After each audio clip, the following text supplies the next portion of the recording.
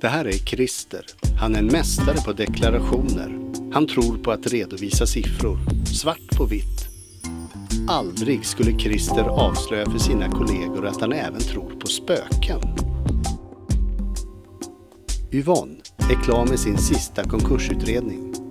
Hon har sagt upp sig, men ingen vet att det beror på att hon tyckte sig höra Guds röst.